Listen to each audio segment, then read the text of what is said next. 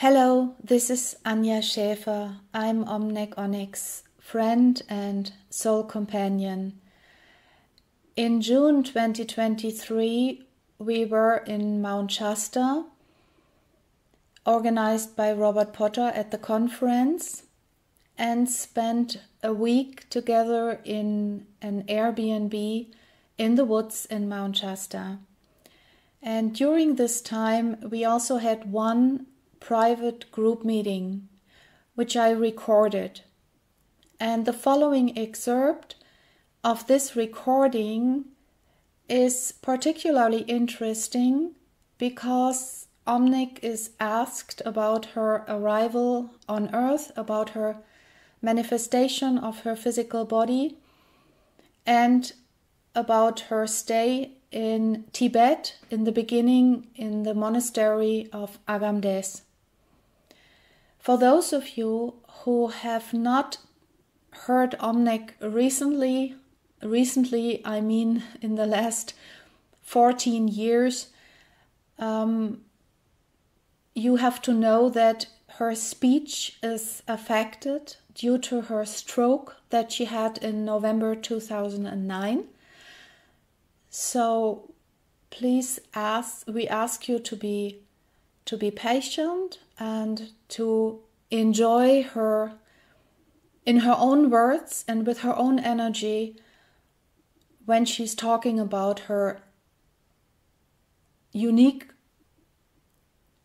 story of how how she came to earth and about the first experiences that she had here. Does anyone have an idea of what I speak about? Talk about your, like, when you manifested the physical body, then Yeah. your trip here, like the on ship with no shadows, the lights, and then coming to Earth and talk about Agam Des. Yeah, Those are Agam Des is a, a spiritual temple that resides on the physical and astral. And when I stayed there, when I came to Earth, it's like our ship was under the dome on the on the physical. It come from the astral into the dome. The dome is a protective city on the physical, which is all fire, and, but it's protection, hmm. and it resides in the physical and the astral for people who want to lower their vibrations and manifest a physical body. Hmm. And you have to go to a certain temple where a lot of people assist in a mantra to manifest a physical body. And I told you already that I manifested a body that looked like Sheila because I had the genetics. But when we landed, I thought, I don't know where we're going. And my uncle said, we're going to Tibet first. I said, not to mm. Tennessee where the little girl is? He said, no. He mm. said, that comes later. I had to wait for the time when she was in, she was going from her mother to her grandmother, and grandmother hadn't seen her for several years, and she was under the care of the bus company and sat behind the bus driver. They were, it's called Travelers Aid. They took care of her, and she had a note to for the cab driver to give to her grandmother because her grandmother didn't know she was coming. People didn't have telephones then. In 1955, they didn't have cell phones. Very few had a house phone because most of them were out of the times of the Depression. They were very poor. They struggled. And my grandma had 11 kids. Wow.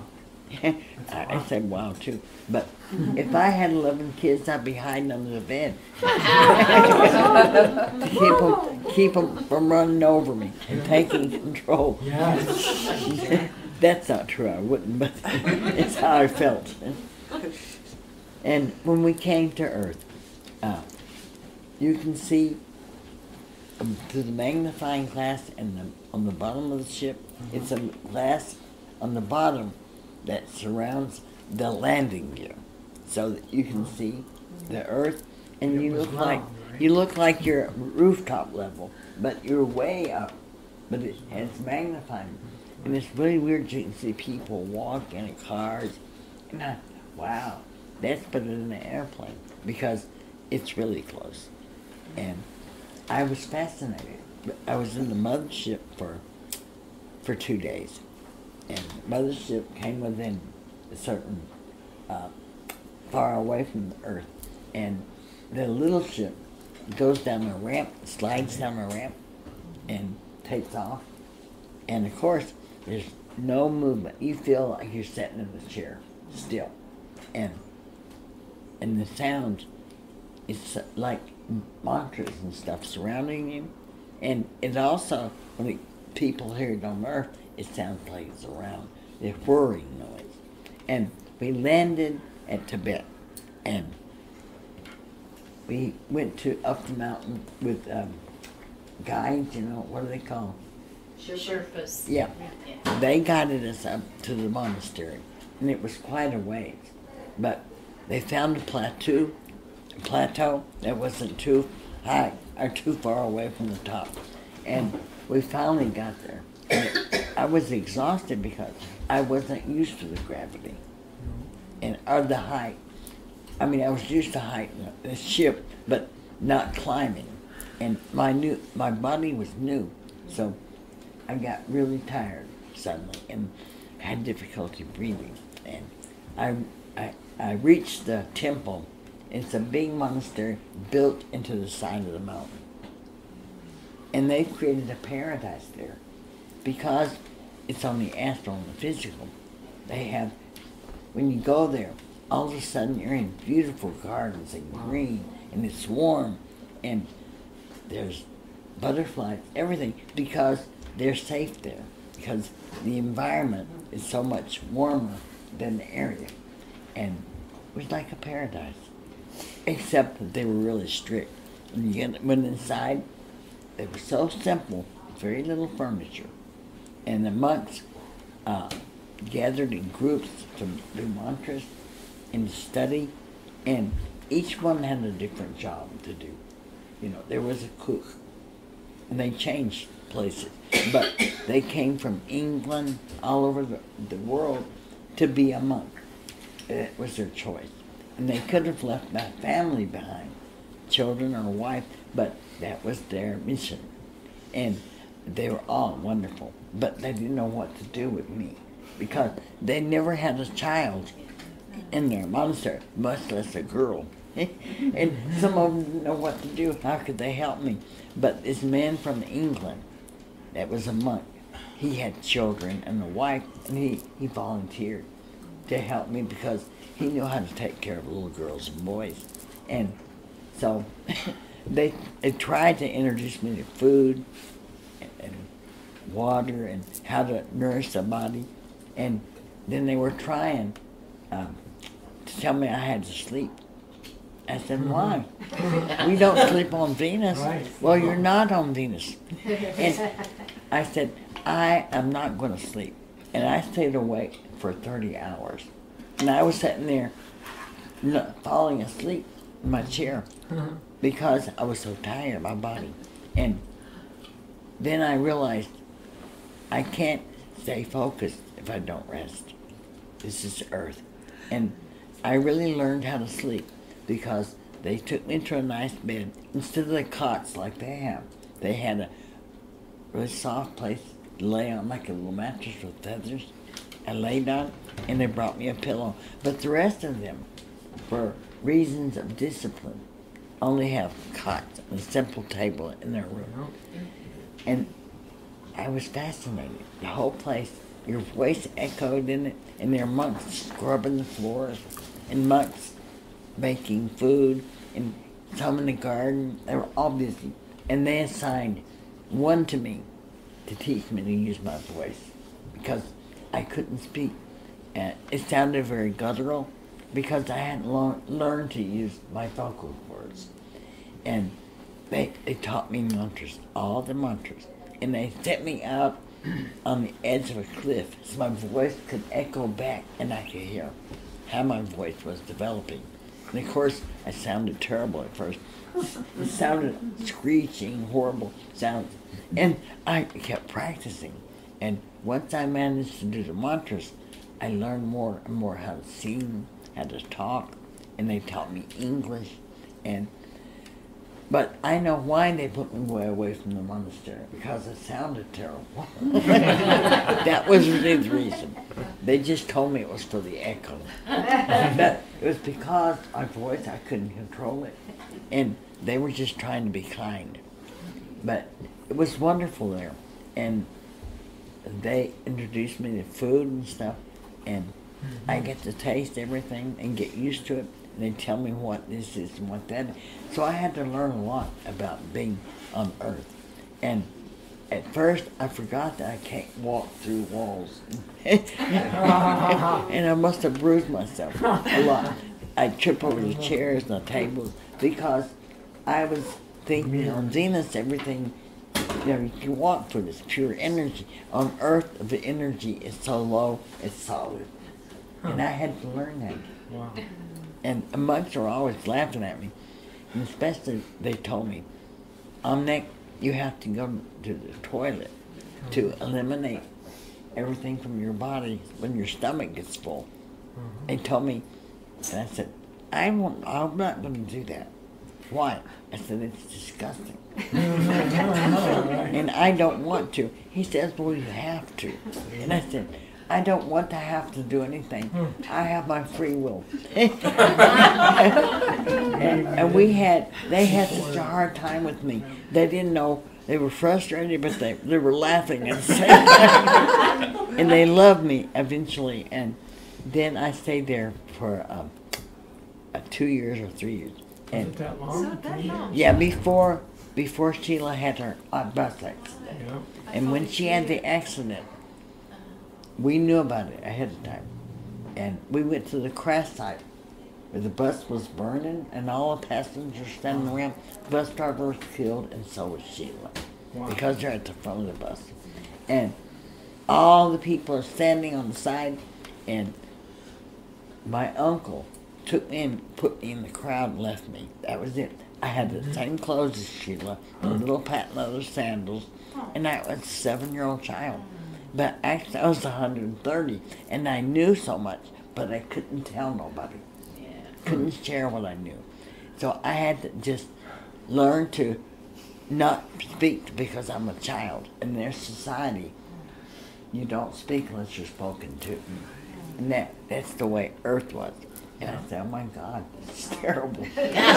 Poor children. but I was a child too. But I was more like an old lady. I was telling jo- this one little girl wanted a doll for Christmas. She's crying because she wanted a really expensive doll. And they bought her another, like a rag doll. And she said, no, I don't want this. I said, don't cry.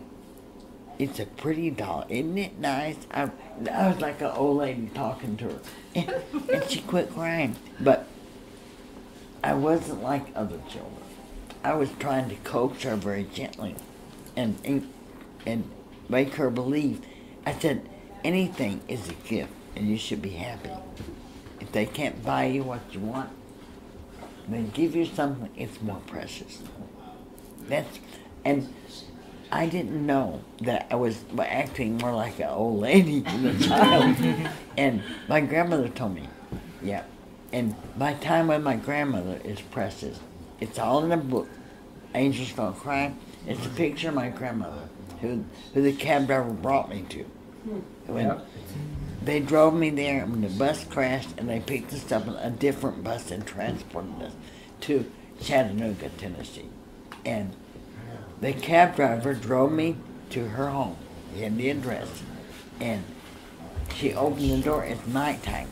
And she said, My goodness, what are you doing here? I said, My mother sent me.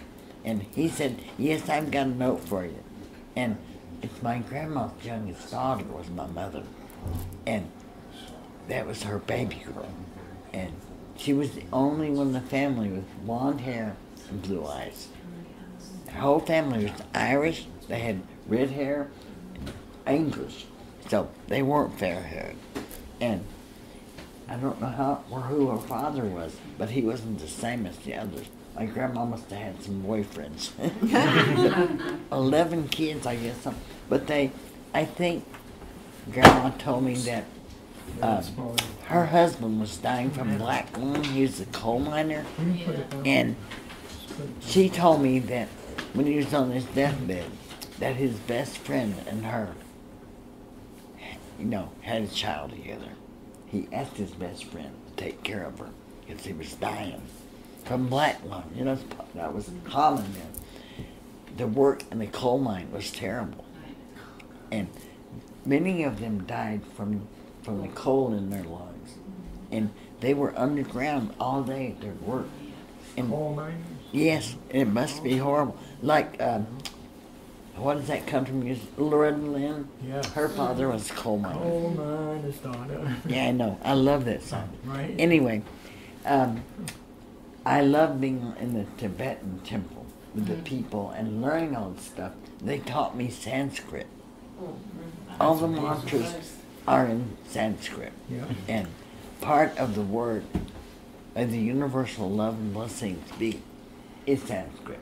Baraka Bashad means may the blessings be. And it's very common in Tibet to say that. They're not saying anything you have to do. They're saying may. May the blessings be. So that is a choice for you. So everybody should be having their free will and choices and not feeling like they have to. And many of the organizations ask you to do things at home. If they force you or try to force you, and maybe you don't like it or don't want to, and you'd like to be free and do things, but you don't want to sin. You don't want to go to hell. But th- there is no hell. Hmm, thank you. That's what I say, but the Christians say there is. Exactly. It's a controlling method to put you in fear. The fear of going to hell if you do something wrong or being punished. And you can't cut your hair for a woman. You can't wear pants. And the men are in control. And the women are supposed to wear dresses below the knee, not cut their hair, don't wear makeup. Everything was, they had so many things. I said, well, what can you do? because I, there saw such a list, and I'm thinking, God don't want that. He, God wants you to be free and happy and partake of all the nature and the food and the drink that they have here. And drinking wine is not a sin either, because Christ drank wine, and it's from grapes. It's very mm-hmm. healthy, but you don't overindulge. That's when you get drunk. That's the thing. It can be dangerous for you because your health, and because when you're drunk, you can get injured without knowing it. And so drinking is okay, but in small quantities. Keep your balance. Maybe at New Year's have champagne, or if you're celebrating. But some people don't like the taste. That's okay. I didn't like the taste either. I had my first alcoholic beverage when I was 35. I'd raised all my children, and now they were more toward adulthood, and I wasn't influencing them. I experimented on my own with drinks of different kinds. But anyway, I enjoyed myself, and I, I went to discos, and I danced, and I did all the things that, you do when you're young because I didn't do that until I was 35, and my children were not present. It was because I missed those years. I overindulged when I did have freedom because mm-hmm. I wanted to try everything. Now that I could, I wanted to try everything, at, at least in small quantities, see if it tastes good or feels good, and what I like and what I don't. But it was really a trip for me that I had my first cigarette at age 52 because I used to love to have brandy, but I can't drink when I'm doing lectures and appearances. I, I wouldn't be in the right consciousness, but but I can go out and have a cigarette and relax. And I love the taste of the menthol because it soothes my throat. I don't. It's not gonna hurt me. And so I love smoking with others because I want you to know around me you can do anything that you love. I won't criticize. I'll join you. That's the whole thing. Yeah. That's primarily why I smoke. But the other one is I like it. Like Rob said, I like it. The way he says it. I know, it's funny. No, the way you he's said it. he's trying to mimic me. Mimic. he sounds so funny.